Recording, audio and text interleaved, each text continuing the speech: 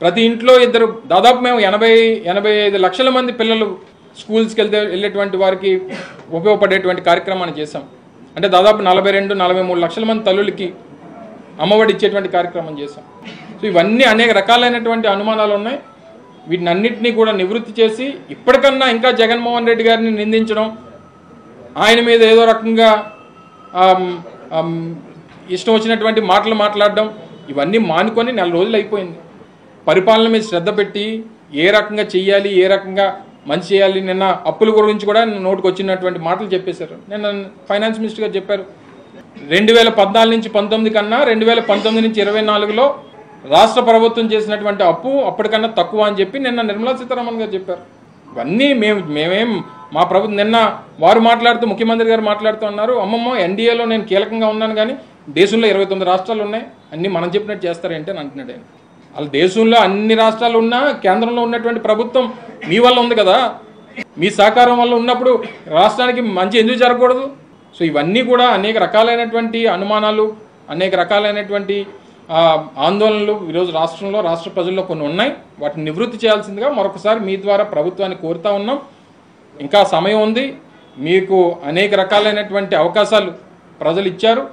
ఇచ్చినటువంటి మాట నిలబెట్టుకోవాల్సిందిగా మీ ద్వారా మరొకసారి కోరుకుంటా ఉన్నాం కొత్త ప్రభుత్వం వచ్చినందుకు ప్రజలు చాలా ఆనందంగా ఉన్నారు ఎందుకు ఆందోళన చేస్తున్నారు ఏ మేమెక్కడ ఆందోళన చెందుతున్నాం?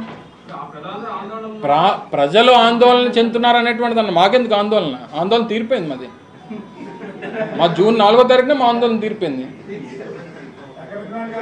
సి ఒకటి ఆందోళన ఎందుకు వచ్చిందనంటే గడిచినటువంటి నెల రోజులుగా మీ టీవీ ఫైవ్ మీ ఏబిఎన్ మీ మహా టీవీ అనుకున్నటువంటి ఆందోళన వైఎస్ఆర్ కాంగ్రెస్ పార్టీలో ఈటీవీయో ఇంకొకటో ఏవో ఉన్నాయో సో ఏవైతే ఉన్నాయో వీటికి సంబంధించినటువంటి వైఎస్ఆర్ కాంగ్రెస్ పార్టీ అనేటువంటిది ప్రభుత్వం రావాలని చెప్పి మేము కోరుకున్నాం ప్రజలు కోరుకున్నారు. సరే మాతో పాటు ఉన్నటువంటి వారు అందరం కోరుకున్నాం. అవ్వలేదు మా ఆందోళన తీరిపోయింది. తర్వాత ఒక మాట ఒక మాట. నాది అయిపోయిన తర్వాత మళ్ళీ మీరు అడగ నేను ఎంతసేపు ఉంటా ఖాళీయే. రెండోది రెండు వేల పద్నాలుగు నుంచి పంతొమ్మిది తర్వాత కానీ పంతొమ్మిది నుంచి ఇరవై నాలుగు తర్వాత ప్రభుత్వాలు అయిపోయినాయి. గడిచినటువంటి నెల రోజులుగా ఉన్నటువంటి పరిస్థితులు చూసిన తర్వాత వైఎస్ఆర్ కాంగ్రెస్ పార్టీ నాయకుల మీద ఆస్తుల మీద చేసినటువంటి దాడులు కొంతమంది కొంతమందిని హత్య చేసేటువంటి కార్యక్రమాలు వీటన్నిటితో పాటు సరే మా సంగతి వదిలేయండి. మీరు ఫోర్త్ ఎస్టేట్గా ఉన్నటువంటి ప్రజాస్వామ్యంలో ఫోర్త్ ఎస్టేట్గా ఉన్నటువంటి మీ మీద కూడా దాడులు చేసేటువంటి పరిస్థితి వస్తే మీరు కూడా రోడ్ ఎక్కలేనటువంటి పరిస్థితిలో ఉన్నారంటే ఒకసారి అర్థం చేసుకోండి. డైరెక్ట్గా ఒక ప్రింట్ మీడియాకి సంబంధించినటువంటి సంస్థ ఆవరణలోకి వెళ్ళి వారికి సంబంధించినటువంటి నేమ్ ప్లేట్ని నిప్పు పెట్టి మా మీద ఏదన్నా తప్పుడు ఆర్టికల్స్ రాస్తే మీకు ఇదే గతి పడుతుందని చెప్పి హెచ్చరించేటువంటి పరిస్థితులు ఈరోజు ఈ రాష్ట్రంలో ఉన్నాయనంటే ఏమనుకోవాలి? ఆందోళన పడకపోతే ఏం పడతారు చెప్పండి ప్రజలు? ఫోర్త్ ఎస్టేట్గా ఉన్నటువంటి మీ మీడియా ప్రింట్ అండ్ ఎలక్ట్రానిక్ మీడియాకే ఈ రకమైనటువంటి పరిస్థితి ఉన్నప్పుడు సామాన్యమైనటువంటి ప్రజలు ఆందోళన పడకుండా ఉంటారని ఎలాగనుకుంటారు? రెండు వేల రూపాయలు ఏ నెలలో ఎప్పుడు పెంచాడు చెప్తావా? గుర్తుందా పన్నుకు నేను నేను అడిగింది మేము మేము మేము- మేము వెయ్యి రూపాయలే పెంచామని మీరు అంటున్నారు కదా? సరే అని అని మీరు అనేది కదా? మీరు నేను అనేది మాట నా మాట వినండి. రెండు వేల పంతొమ్మిది నుంచి ఇరవై రెండు వేల పద్నాలుగు నుంచి పంతొమ్మిది వరకు రాష్ట్రంలో పెన్షన్ వెయ్యి రూపాయలు. రెండు వేల రూపాయలు ఎప్పుడు ఏ నెలలో ఏ సంవత్సరంలో చేశాడు? ఒకసారి చెప్పు. బాగా చెప్పాడు.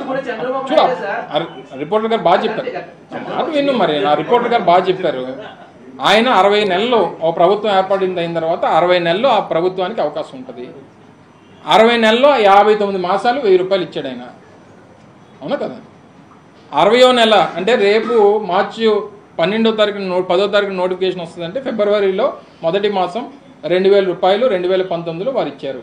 ఏప్రిల్ నుంచి ఏప్రిల్ ఎన్నికలు జూన్ ఒకటో తారీఖు నుంచి మళ్ళీ మొన్నటి వరకు అరవై నెలలు వెయ్యి రూపాయలు ఉన్నటువంటి పెన్షన్ని మూడు వేలు అంటే కొన్ని మొదటి నెల మొదటి సంవత్సరం పన్నెండు వందల యాభై తర్వాత పదిహేను వందలు తర్వాత పదిహేడు వందల యాభై తర్వాత రెండు వేలు రెండు వేల రూపాయలు పెంచింది మేము.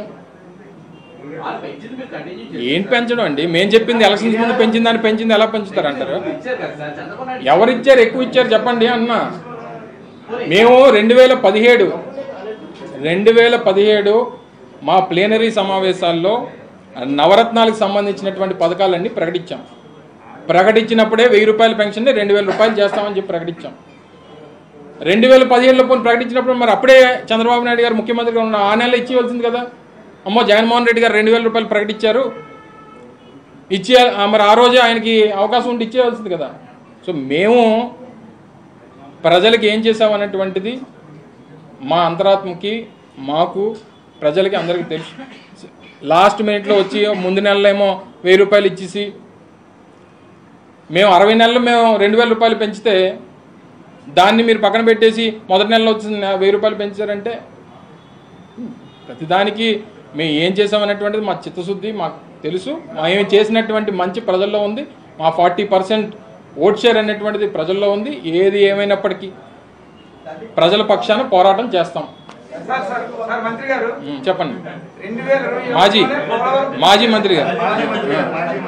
రెండు వేల ఇరవై ఒకటి పోలవరం పూర్తన్నారు. మీరు మంత్రిగా ఉన్న జిల్లాలో ఆ కెనాల్ దగ్గర ఎప్పుడైనా వెళ్ళారా? కనీసం చూసారా ఆయన మొదటి నెలలో తొలి విడతలో ల్యాండ్ ఎక్విషన్ కానీ దానికి సంబంధించినటువంటి ల్యాండ్ ఎక్విషన్స్ కానీ దానికి సంబంధించినటువంటి పేమెంట్స్ విషయంలో కానీ అక్కడ ఉన్నటువంటి రైతులను ఒప్పించడం కానీ ఎందుకంటే మేజర్ కనెక్టివిటీ ఏదైతే ఉందో ఉత్తరాంధ్ర సుజల స్రవంతికి సంబంధించి మేజర్ కనెక్టివిటీ ఏదైతే ఉందో అది అనకాపల్లి నియోజకవర్గం.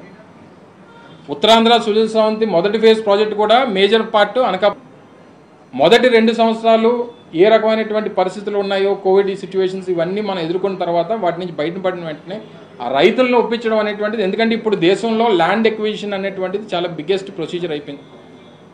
ప్రతి దానికి ఆటంకాలు ప్రతి దానికి వ్యవస్థల ద్వారా ఇబ్బందులు పెట్టేటువంటి కార్యక్రమాలు. ఇందాక మీకు చెప్పినట్టు భోగపురం ఎయిర్పోర్ట్ కూడా అనేక రకాలుగా కోర్టులో అడ్డంకులు సృష్టించేటువంటి కార్యక్రమం. ఏ కేవలం ఒకే ఒక రైతు వల్ల దాదాపు సంవత్సరం సంవత్సరంన్నర లేట్ అయిపోయింది ఎయిర్పోర్ట్. సో ఇవన్నీ మా వాళ్ళు పోయిందా డైఫ్రమ్ వాళ్ళు. వాల్ మా వాళ్ళు పోయిందా? డైఫ్రమ్ వాళ్ళు కట్టింది ఎవరు? ఎవరు ఎవరు కట్టింది? చెప్తాను అదే. చెప్పాం కదా మేము. డైఫ్రమ్ వాల్ అనేటువంటిది ఇంజనీరింగ్కి. ఎందుకంటే చంద్రబాబు నాయుడు గారు కూడా అదే చెప్పారు. దీని గురించి మేము చాలా ఇచ్చేసాం చాలా ఆలోచన చేసాం. అది డయఫ్రమ్ వాల్ అనేటువంటిది ఉన్నటువంటి ఇంజనీరింగ్కి విరుద్ధంగా నిర్మాణం చేపట్టారనేటువంటిది నిపుణులు చెప్పినటువంటి మాట కేవలం ఈ గేట్కి ఒక కొబ్బరికాయ కొట్టేసి లేదా ప్రతి కాంక్రీట్ స్లాబ్కి ఒక కొబ్బరికాయ కొట్టేస్తే ప్రాజెక్టులు పూర్తయి పర్మిషన్ తీసుకొచ్చింది రాజశేఖర రెడ్డి గారు. ఇవన్నీ ఇట్స్ కంటిన్యూస్ ప్రాసెస్ కొన్ని ప్రాజెక్టులు